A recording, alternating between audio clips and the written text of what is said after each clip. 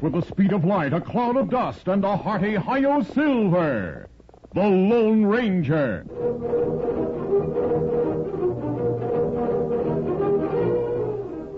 Before this exciting adventure, a word from our sponsor. General Mills, makers of Cheerios, the oat cereal that's ready to eat, Betty Crocker mixes, and Wheaties, the breakfast of champions, present by special recording, The Lone Ranger. Here's a swell idea that can make studying a real pleasure. Before you do your homework at night, mix up some Betty Crocker gingerbread and pop it in the oven. Then, by the time you've finished your assignments, you'll have a treat of piping hot, spicy smelling gingerbread waiting for you. Doesn't that sound great? Mmm, there's nothing like a glass of milk and a big piece of freshly baked gingerbread to make a guy feel good all over. And is it ever easy to bake with Betty Crocker gingerbread mix? All the mouth-watering spices and good things are right in the package. You just add water, beat and bake. It's fun, and it'll hardly take you any time at all. Even kids can bake up perfect gingerbread with Betty Crocker gingerbread mix. It's guaranteed perfect by Betty Crocker of General Mills, Minneapolis. So be sure to bake some next time you do your homework. You'll love it because Betty Crocker gingerbread is the real go to the head of the class kind.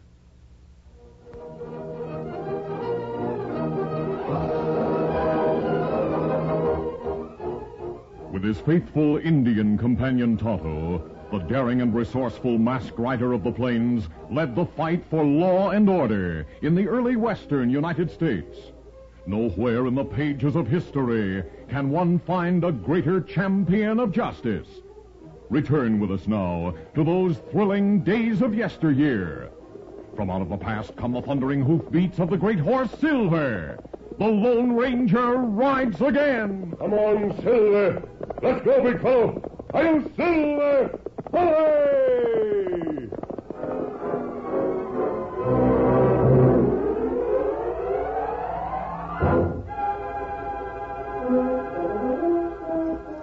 John Marks, known to everyone as Miser Marks, lived alone in an old house a few miles from Roper City in southern Oklahoma. He went into town for supplies only a couple of times a month, and four times a year he had a meeting with a banker. Get up there. Get along there. After one of these meetings, he was about halfway home when three men from town suddenly appeared from behind big boulders. They flourished guns and shouted, All right, Mark. Stop where you are. When we say it, we'll shoot. Oh, oh, oh, there. Yeah, that's it, Mark. Crowder, what's this mean? Do as you're told, and you'll soon find out. All right, dismount. See if he's packing a gun, Steve. Sure. Jake, you take charge of his horse. Right. If this is a robbery, You guessed it, Mark. He's not armed, Crowder. I didn't think he'd be. He's too stingy to buy a gun. Crowder, you're wasting your time. I'm a poor Don't man. tell us that. We know you call on the banker four times a year Ask the banker. He'll tell you that I don't even have a bank account. because you keep your cash at home. I learned about you in a roundabout way. You own a lot of bonds, and you go to the bank to collect the interest on What? them. Search him, boys. Hey, you'll be sorry. Hey, hey, look here, Crowder. Cash. And here's this bond. Yeah, quite a bundle of them. Well, they're worthless to you. They're registered in my name. You can't get anything for them. Only a few hundred in cash, Carter. Uh, take the money, but leave me the bonds. You've been collecting interest on these bonds for a long time, Mark. You must have a tidy sum hoarded away. Give me those bonds. Hey, he grabbed the bond, running away. Stop or I'll fire! I'm back, you old skinflint. You got him, Carter. Yeah, warned him. Let's get the bonds. Should have known better than to make a break like that. He moved mighty sudden, snatched the bonds right out of my hand. See if he's dead. Yeah. He is. Here's the bonds. Yeah, that's a bad break. Why? We planned to kill him anyhow, so he couldn't tell the law about us. I wanted to make him tell where he's hidden his cash before we shot him. Hmm, it must be somewhere in his house. Yeah, but now we'll have to search for it. I hope to get it the easy way. Give me those bonds, Jake. Sure. I've got everything planned to use the bonds to frame a man for the murder of Miser Marks. You have? Yeah. in my saddlebags, I have the clues I'll need in connection with the plans. I've even picked the man to frame. Oh, why go to all that trouble? Why don't we just take the cash and clear out? There's more cash hidden in Mark's house. I want that too. Let's try to find it before we clear out. With our reputations, the sheriff is sure to suspect us when he hears of Mark's death. If we've cleared out of town, he'll be sure we're guilty. There'll be a manhunt for us, Ah, and I don't want to be dodging the law. We've got to get back to town and behave the same as usual until someone's hanged for Mark's murder. Then the case will be closed, and we can go away and live high on the old miser's money. If we can find where it's hidden. It's somewhere in this house. Now I'll go to town to arrange the frame up. I'll take the bonds and some of the money with me. You boys wait here, and while I'm gone, dig a shallow grave and bury Marks. we got you.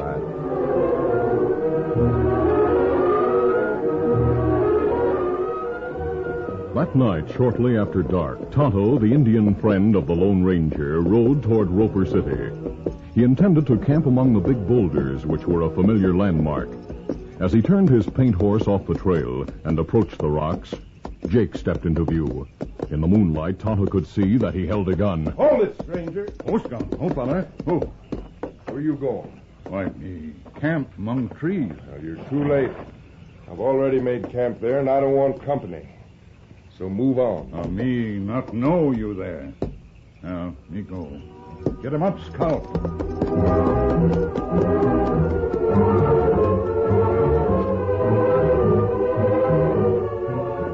About an hour later, the Lone Ranger, riding from another direction, saw the moonlit boulders where he planned to meet Tonto.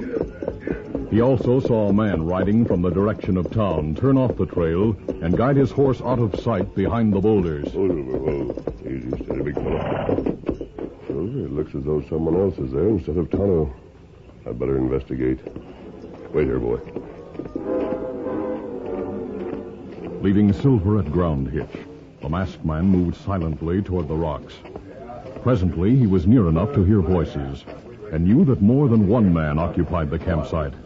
He moved still closer and heard, When you got through, what'd you do with the clothes you wore? Burned them in the fireplace while I was in Shag's house planting the bonds. Did you make sure they were burned complete so no trace of them will be found? I made sure. Where'd you hide the bonds?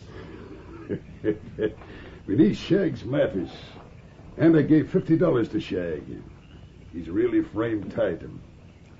Sooner or later, someone will see Mark's horse wandering around and tell the sheriff.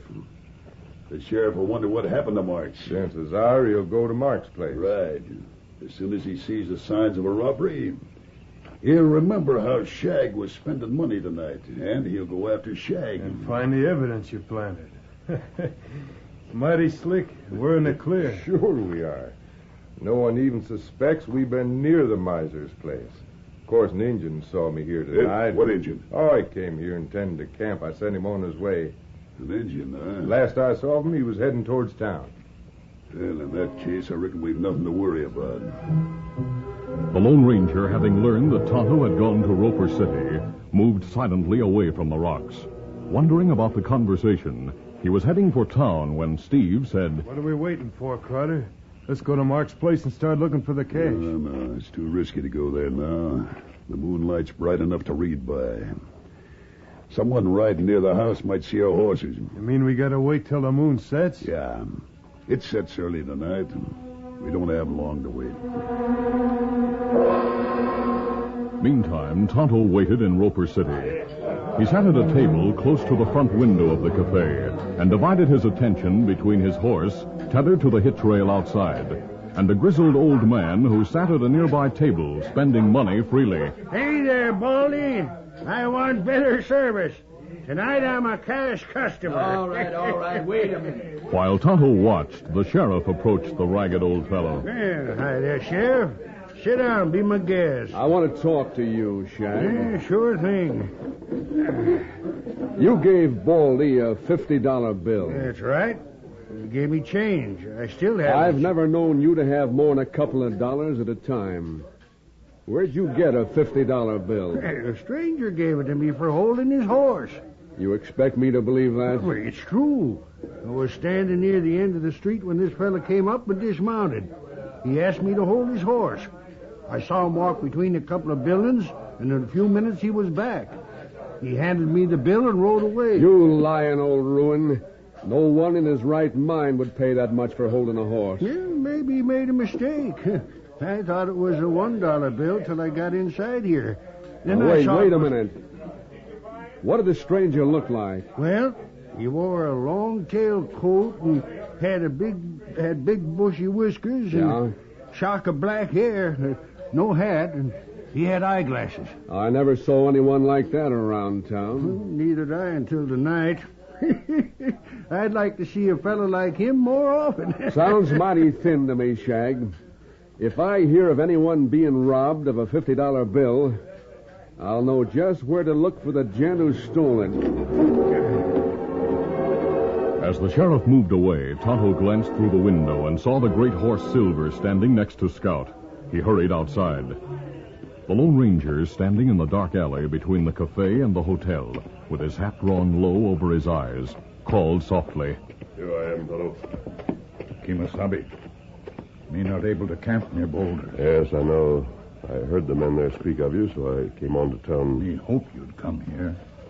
That why me tie scout where you sure to see him. That was a good idea. And me not know other place to camp, so me get room in hotel. Oh, here, door key.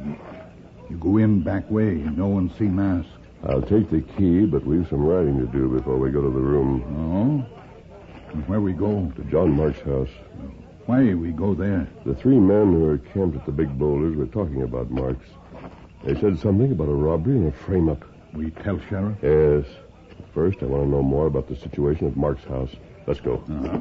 Be ready, Kemo Sabe. Come it. Come.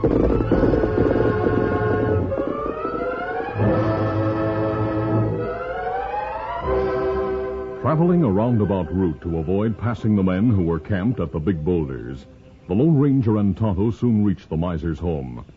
Leaving their horses concealed in the nearby woods, they approached the dark house and rapped on the door. After waiting a moment, the masked man tried the door and found it locked. Tonto, the situation justifies breaking the lock.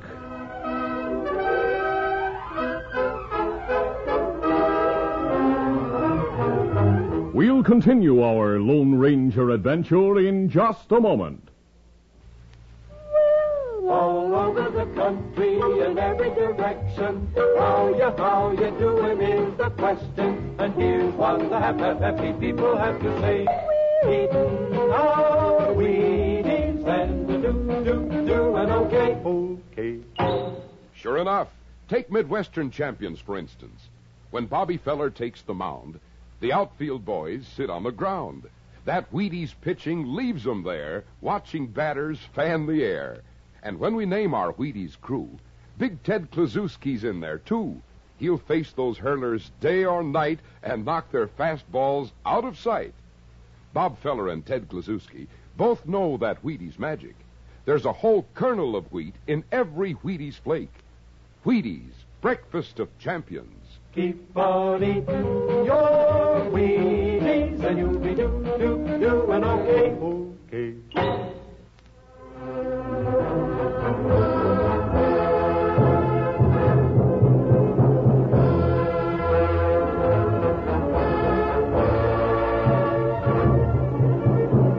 Now to continue. Inside the one room house of Miser Marks, the Lone Ranger and Tonto saw that the windows were closely shuttered. They lighted a candle. Their search revealed nothing out of order. No sign of a robbery. There, ladder that lead through ceiling. There's probably a loft above this room. Now look up there.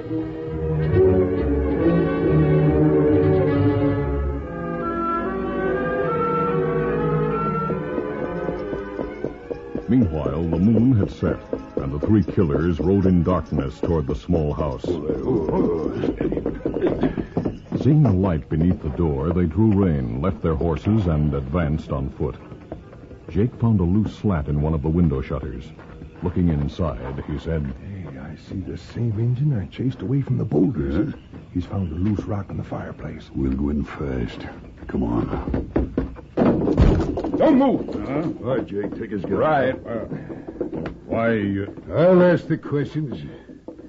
What are you doing here, Injun? Uh, me come look round. We saw you poking around the fireplace.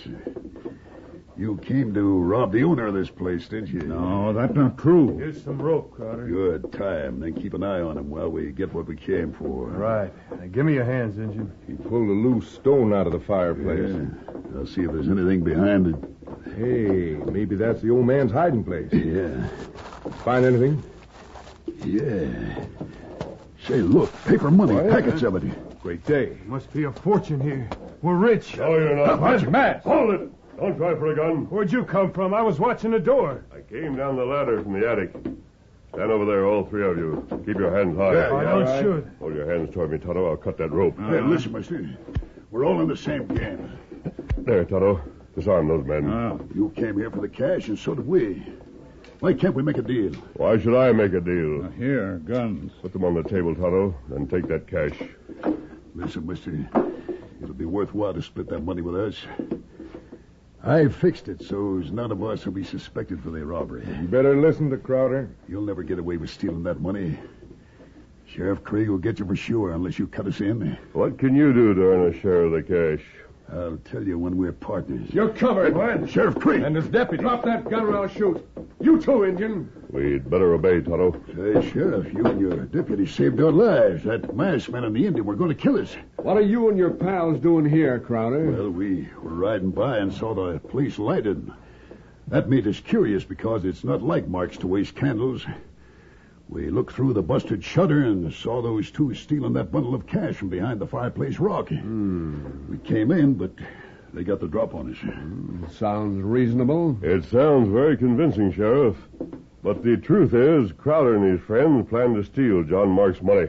That's what I'd expect you to claim, mister. Should I handcuff him, Sheriff? Yes, I'll keep him covered. What, uh, what brought you here, Sheriff? Mark's horse came into town. I wondered what had happened to the old man. Brought my deputy with me to investigate. Here's the bracelets, mister. Stick out your hands. The Lone Ranger seemed submissive. He held his hands toward the deputy, then suddenly lunged forward. You- Gave the deputy a hard shove. Look out! And sent him staggering against the sheriff. You take this! Out. At the same instant, Tonto leaped into action. He drove a fist to the chin of the off-balance sheriff, while the Lone Ranger swung a fist to the deputy's chin. Oh, All right, you. Both lawmen were on the floor unconscious. The masked man, moving quickly, picked up his gun and said, We're taking this cash, Crowder. But I want to talk to you before we leave. What, what do you want? Before the sheriff came, you said something about a plan. Well, yeah. Is it too late for your plan to do us any good? Uh, my plan will still be worth a lot to you, mister. Uh, room 9 at the Roper City Hotel. Uh. Come at midnight. If you think you have something worth half this money, Say, you're all right. you'll find I'm dangerous if you try a double cross. Don't worry, mister. I'm on your side.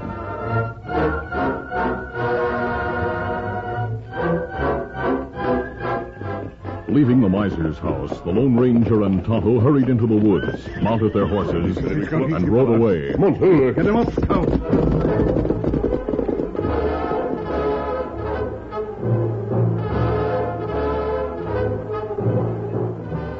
It was an easy matter for the masked man to enter a rear door of the hotel and reach the first floor room without being seen. In the room, he and Tonto were alert and expectant at midnight. Stand to one side, Tonto, and cover me while I open the door. Huh, me ready.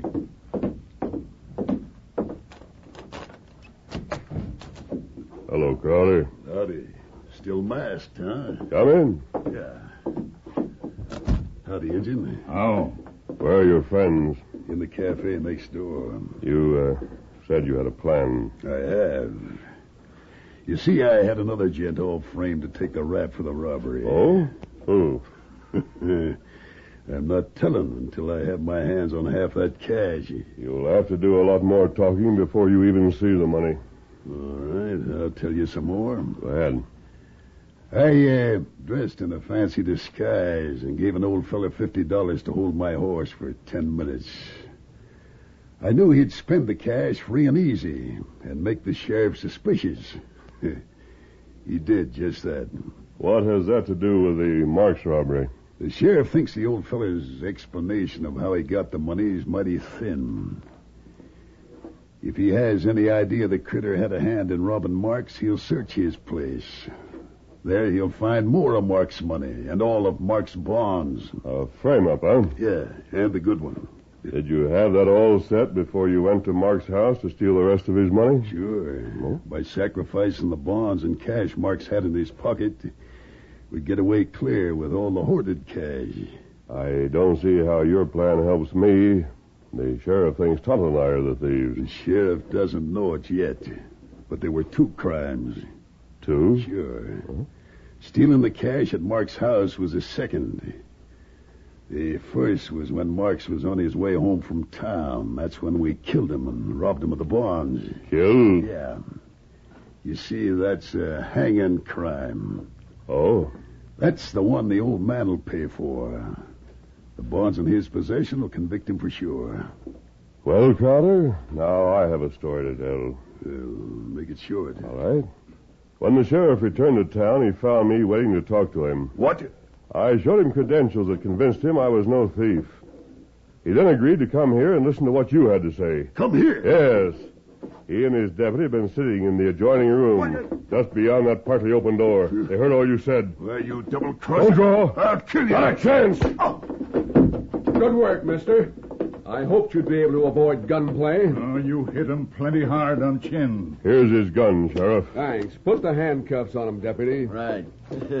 I reckon he won't trick me like the masked man did. We'll take him to jail, then go to the cafe and get his pals.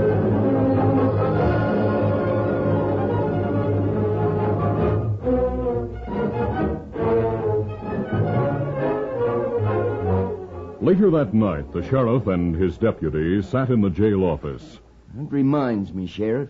The masked man showed you papers that made you sure he's no crook. Yeah. Did the papers tell who he is? They didn't give his name, but they identified him as the Lone Ranger.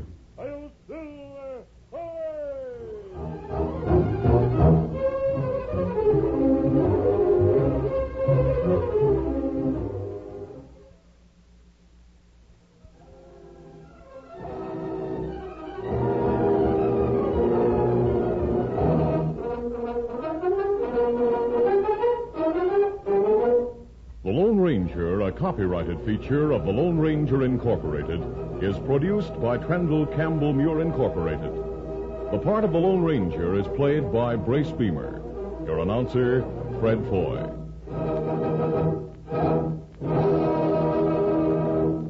Listen to The Lone Ranger, brought to you by special recording Mondays through Fridays at this same time.